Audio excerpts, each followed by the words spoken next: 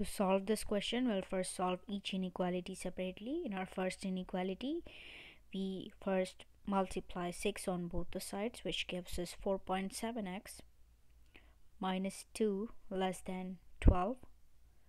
Now add 2 on both the sides, which gives us 4.7x less than 14. In our next step, we divide 4.7 on both the sides, which gives us x less than 140 over 47 keep those ends in between and in our second inequality we subtract 3.2 on both the sides which gives us 2.5x greater than 1.9 now divide 2.5 on both the sides which gives us x greater than 19 over 25 we'll write this again just for the sake of and x greater than 19 over 25 and in our first inequality we have the interval notation minus infinity to 140 over 47 we'll plot this on the graph. Look for 140 over 47 mark it. And this is extending towards minus infinity. Mark that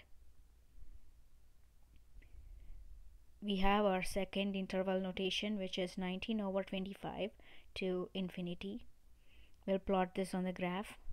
Yeah, look for 19 over 25 and mark it. And that is extending towards the positive infinity so mark that.